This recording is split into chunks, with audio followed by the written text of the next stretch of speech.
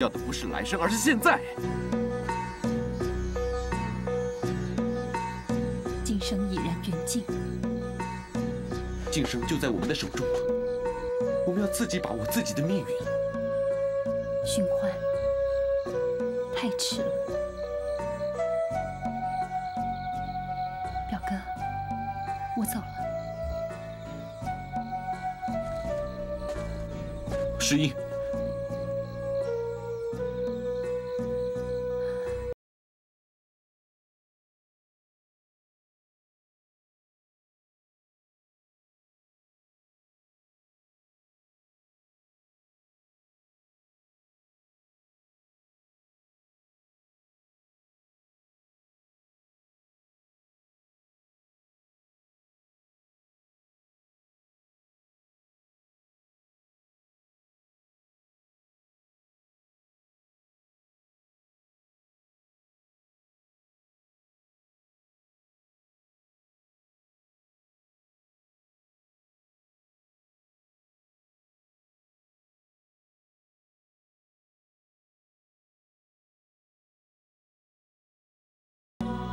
我该为他高兴。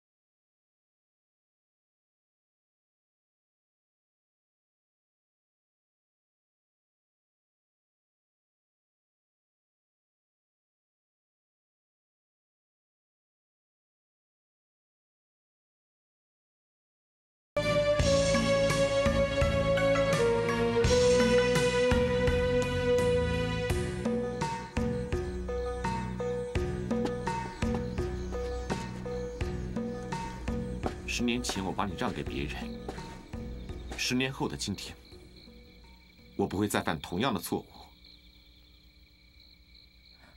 表哥，我不会再让你离开我。我要娶你，我要光明正大的娶你。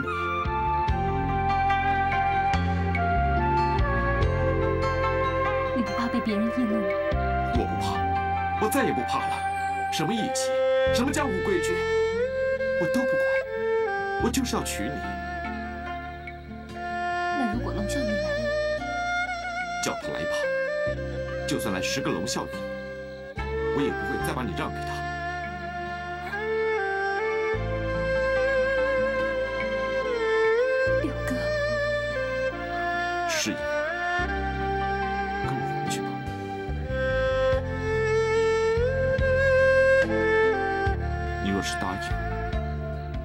牵着你的手走回去。我若是不答应你，我就把你抢回去。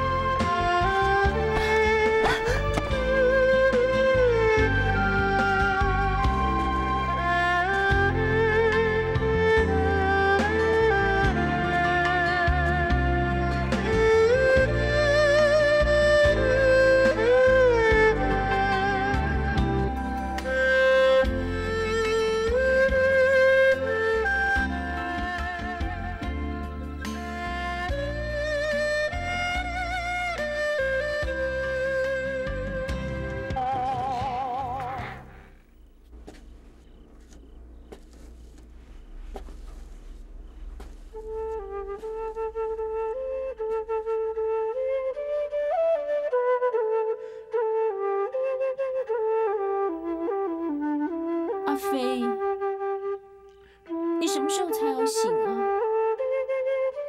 李大哥他都要成亲了，你却还不知道。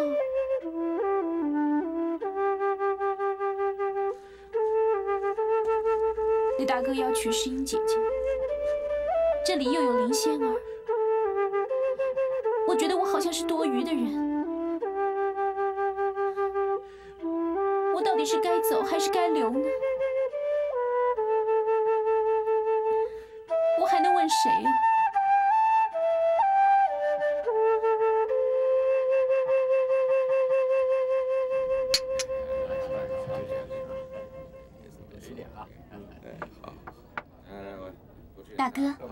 姐姐，啊，不，我应该叫嫂嫂了。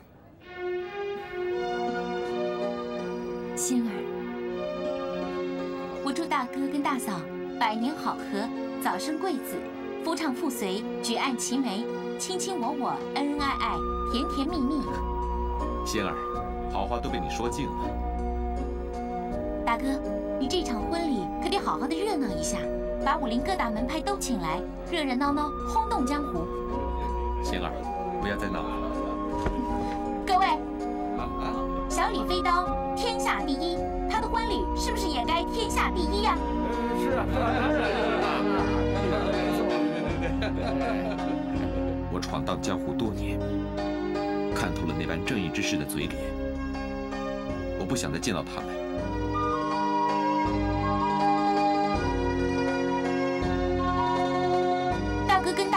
成亲也不能偷偷摸摸，好像见不得人，多没有面子啊！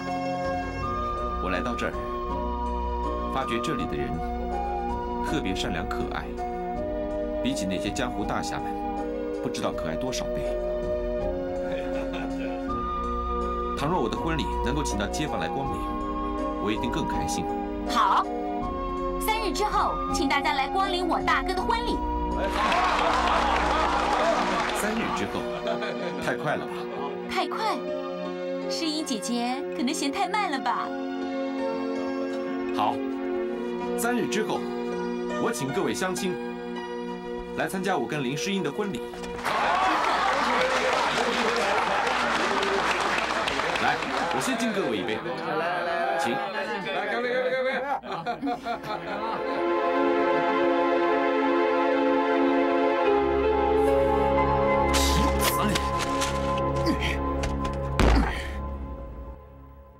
嫁李寻欢了！你们这对狗男女，太不要脸了！爹，你只能忍。胡说！李诗英还是我老婆，我没有休她，不准嫁给李寻欢。爹，你又有什么办法？我可以当众阻止他们成亲。爹，你忘了吗？什么？上一次你点了娘的穴道，逼她嫁给那个假李寻欢。那又如何？那一次，大家都在等待爹爹的出面阻止，可是爹爹却不见了。后来新郎被杀死，大家都知道那是个假李寻欢。江湖上有很多人都在猜疑。哼，我怕他们猜疑。如果这回他们两人成亲，爹爹又突然出面阻止，大家又有何猜测？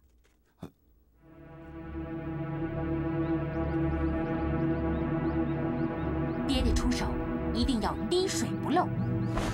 不行，没有时间了。他们明天就要成亲了。爹，再忍耐一下嘛。不行，我不能忍。小云，安排四十名杀手，我要血洗李寻欢的婚宴。爹，我知道他们杀不了李寻欢，给我用火，把去的人全部烧死。我请爹爹清醒一下。如果连这点小事爹爹都无法保持冷静，又如何谈一步一步称霸武林呢？小云好，这杯茶泼的好。小不忍，则乱大谋。哼，爹，你忘了林仙儿吗？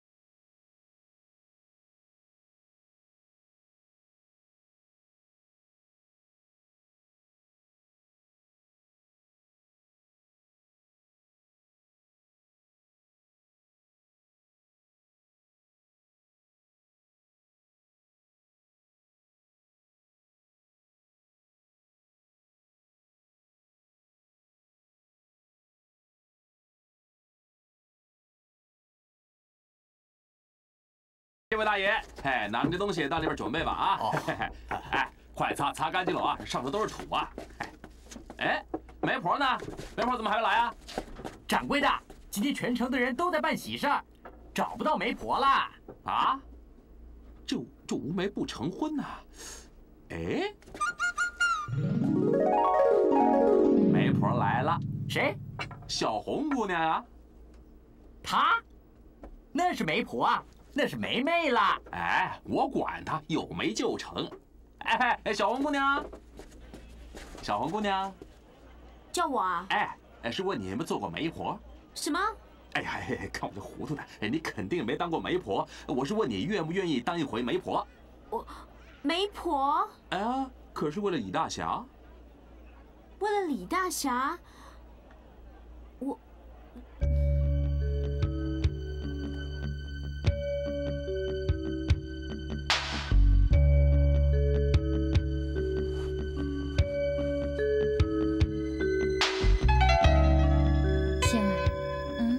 我有一句话想告诉你，姐姐啊，新娘子是不能说话的。为什么？这是本地的风俗啊。新娘子在拜堂之前是不可以讲话的。这句话我一定要说。什么话这么要紧啊？我跟李大哥商量过了，七日之后就是吉日。吉日？什么吉日啊？傻丫头，让你拜堂成亲的吉日啊！姐姐，你说什么啊？我嫁给谁呀？当然是嫁给相公了。不过相公不是已经有你了吗？男人三妻四妾是很平常的事情。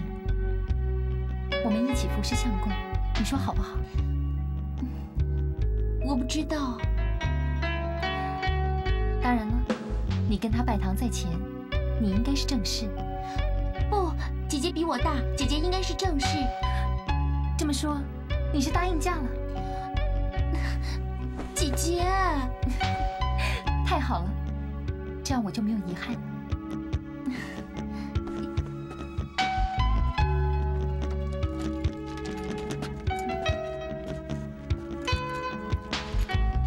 哇，姐姐好漂亮啊！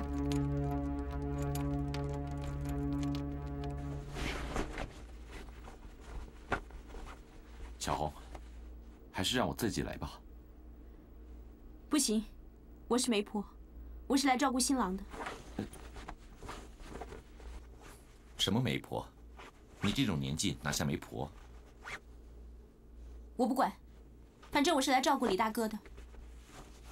不对呀，媒婆应该是照顾新娘子才对的。反正我这个媒婆是来照顾你的。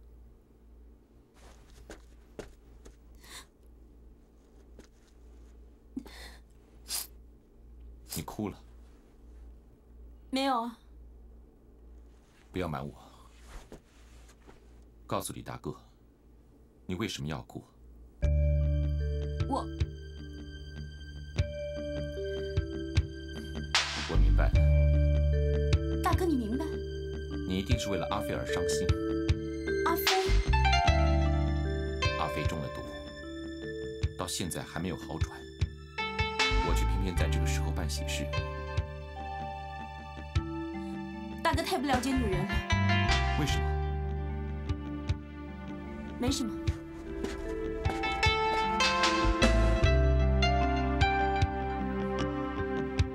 李寻欢，你又伤了一个女人的心了。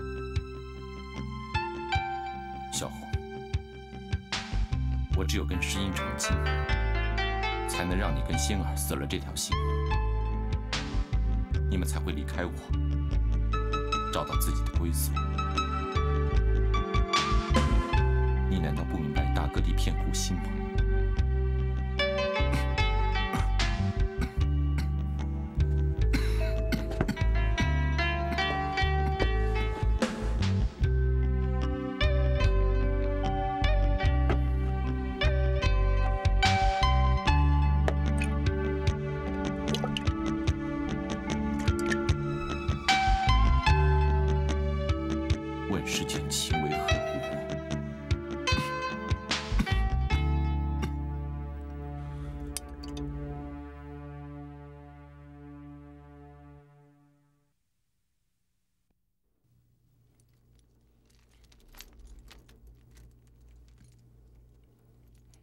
一整天都没有喝茶，真是渴死了。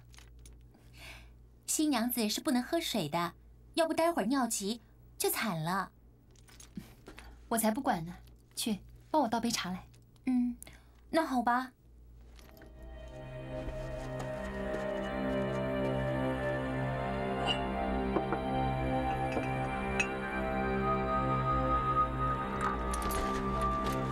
姐姐，谢谢你啊。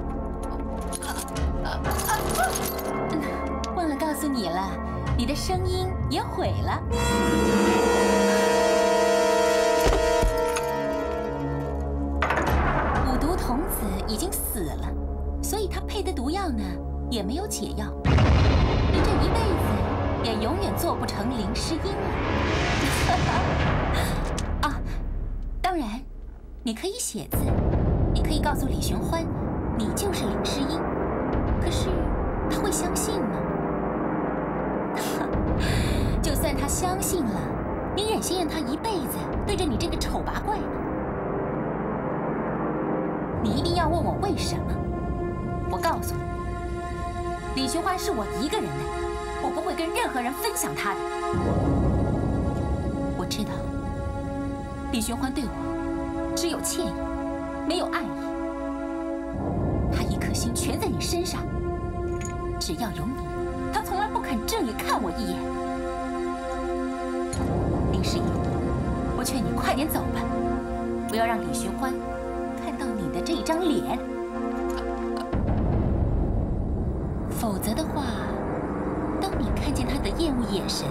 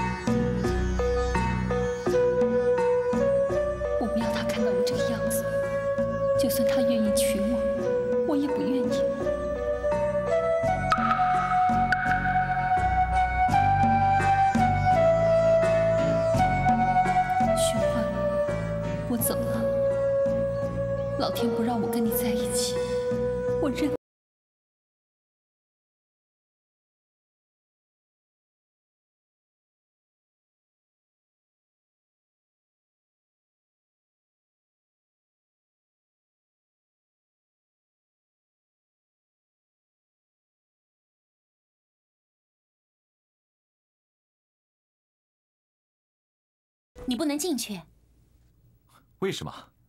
这是本地的风俗，新郎跟新娘在拜堂之前是不能见面的。哦还有这样的风俗啊？嗯，听说如果拜堂之前私底下见了面，就会害了新娘。那我不进去就是了。大哥，你快去大堂招待客人吧。好。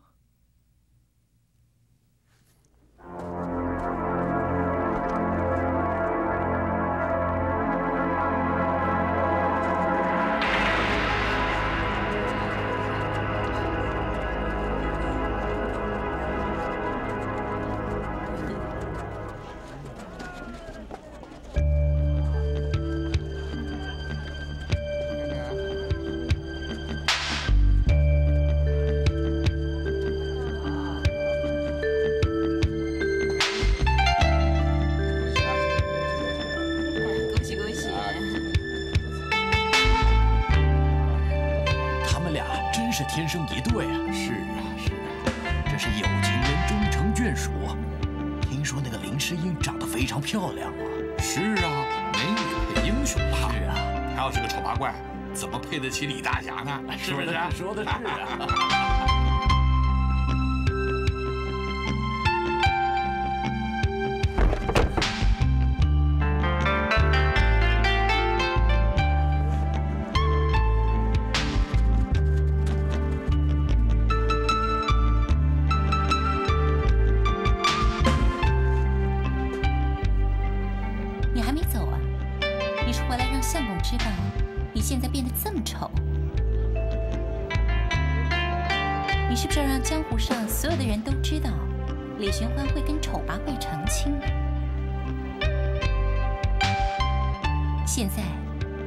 李寻欢的心目当中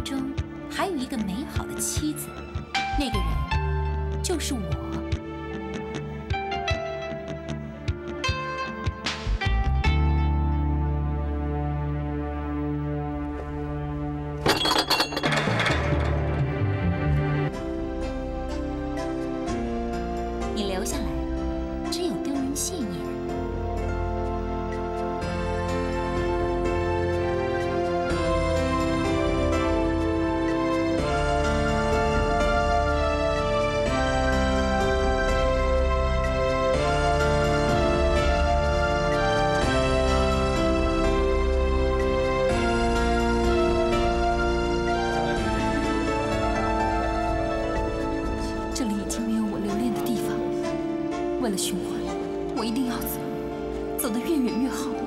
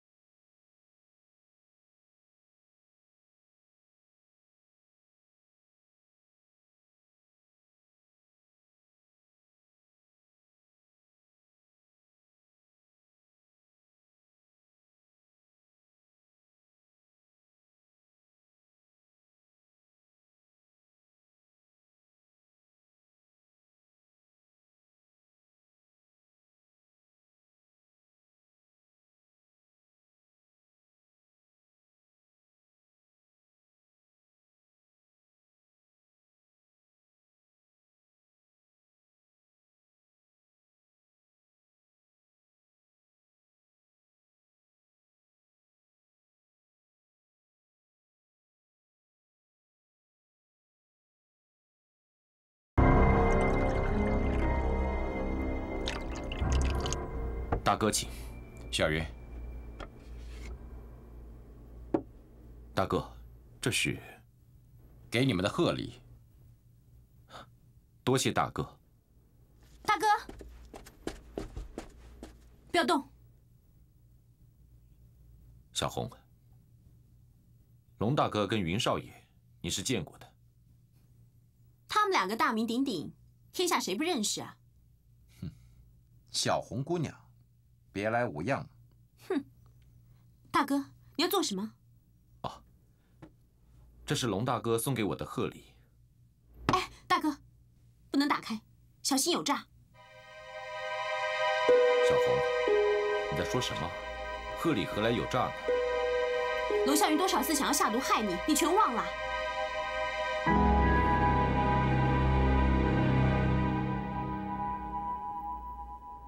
大哥他是诚心来道贺的。哼，你娶的是诗音姐，他会甘心吗？小红，多少年来，龙笑云就是因为诗音姐而恨你入骨，他又怎么会心甘情愿的来祝贺你？大哥，抱歉，小红她……小红姑娘心直口快，笑云佩服。我爱诗音，不必隐瞒，人所共知。我以前做了很多对不起你的事，也是因为我太爱诗音的缘故。大哥，过去的事情就别再提了。但是，经过这么多的风波，我才知道，诗音，她爱的是你。你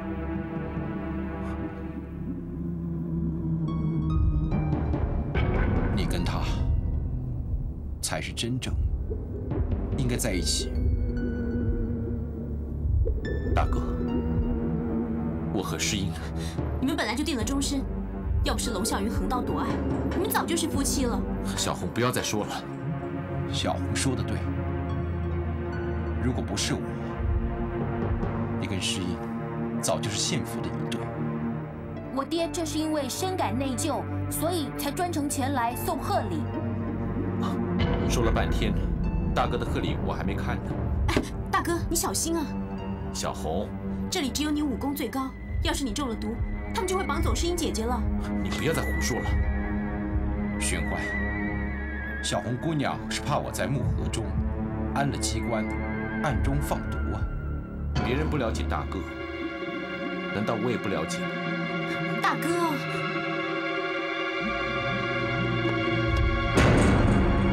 什么贺礼啊？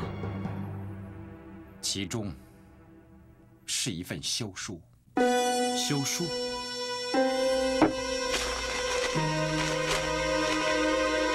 是我修了诗音的休书。龙啸云，你在搞什么鬼？没有我的休书，诗音还是有夫之妇。她不能合法的嫁给你，大哥，你把诗音让给我，不是我把属于你的还给你。你让来让去，你把诗音姐姐当什么了？大哥，这又是什么？这是李元的房地契。你与诗音成家之后。必须要有个归宿。李园本来就是你们的产业，现在应该物归原主。大哥，那你……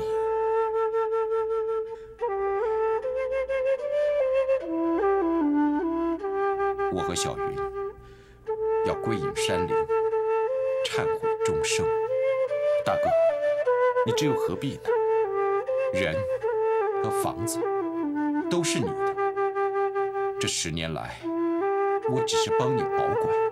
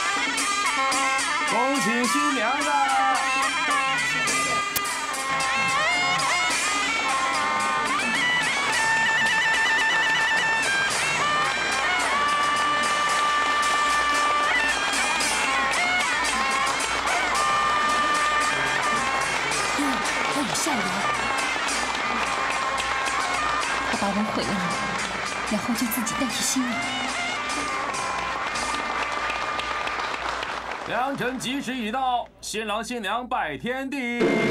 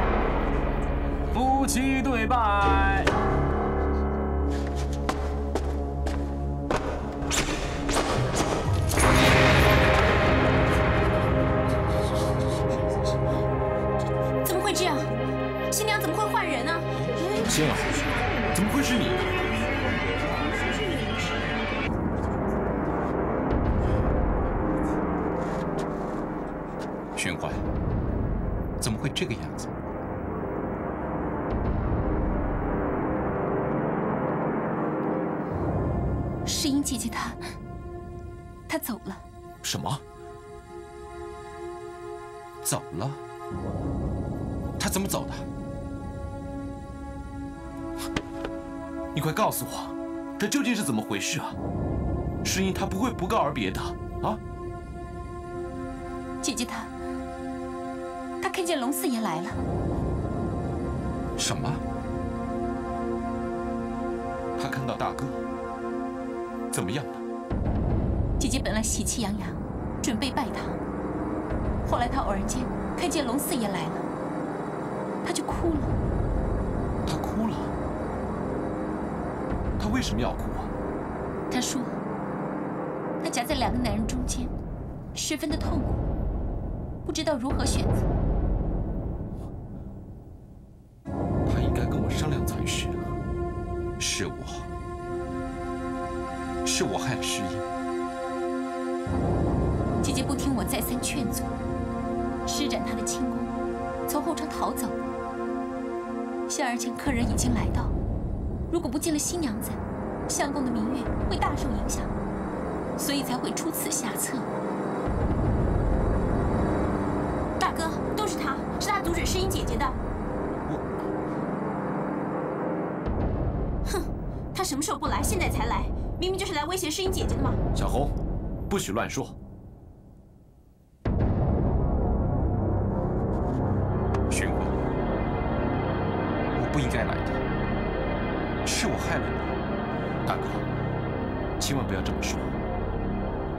送休书与放弃来，完全是为了要成全诗音啊。那现在该怎么办？是啊，对呀，对呀，还差一拜呢，不拜了，对呀，李大侠，您刚才跟仙儿姑娘只拜了两拜，就差一拜啊！一拜啊，就是啊。哎，小人是说，仙儿姑娘口口声声喊您相公，我看不如就跟他成亲算了。大哥，对，玄欢，宾客都来了，不能扫兴。你跟仙儿本来就是夫妻，不如趁这个机会重新拜堂，以续前缘。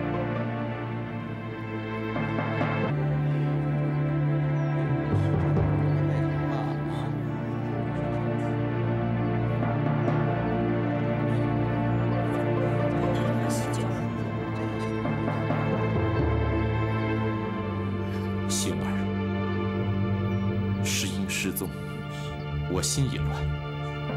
今日我不能拜堂，相公，况且你也知道，在我心中，唯有世英才是挚爱。对不起，星儿，我不能，我要去找世英。玄欢，你留下来，我去找。大哥，小云，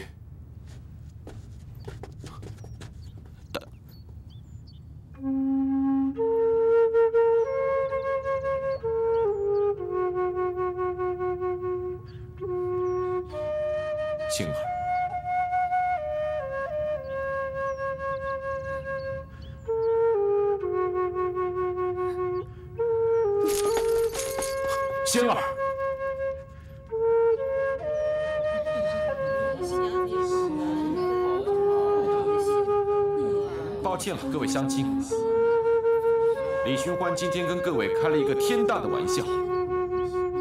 这场婚礼泡汤。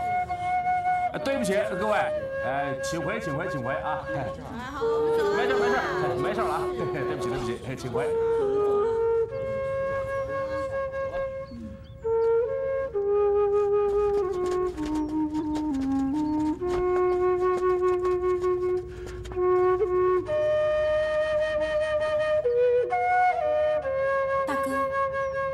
你还好吧？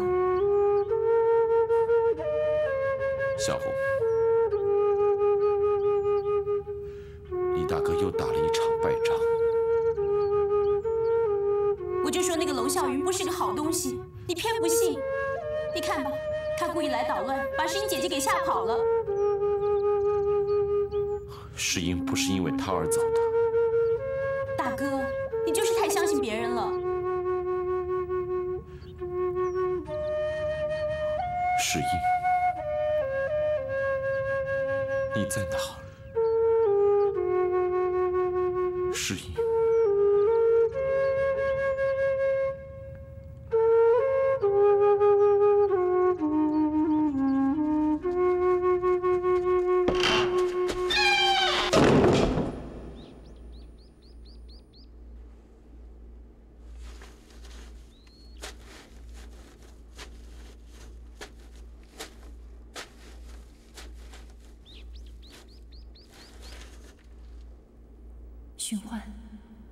我身上连一文钱也没有，我只能待在这个破庙里，你可知道？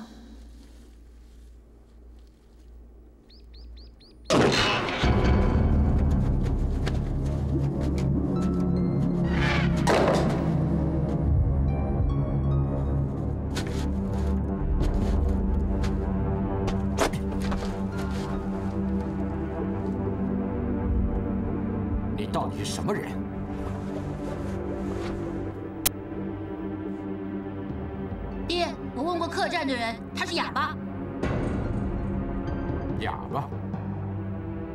哑巴总会写字吧？